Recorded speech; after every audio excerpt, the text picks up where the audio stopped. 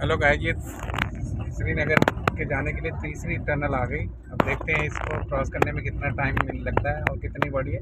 इसमें भी लाइट अच्छी है, जो फ़र्स्ट वाली टनल थी, काफ़ी अच्छी सुंदर थी। उसमें लाइट कलरफुल लाइट थी। इसमें वाइट लाइट दिख रही है। अब इसको देखते हैं कितना टाइम लगता है इसको क्रॉस करने के लिए। पहली टनल तो बहुत बड़ी थी, इसके बाद दूसरी छोटी थी। अब ये नेक्स्ट आगे ये भी छोटी थी। तो काफ़ी अच्छा था। यहाँ पर नाइट का व्यू देख सकते हैं। ये श्रीनगर की तीसरी टनल थी गाइज़ अगर ये आपको वीडियो अच्छी लगी तो प्लीज़ लाइक एंड सब्सक्राइब ज़रूर करें। जय हिंद, जय भारत।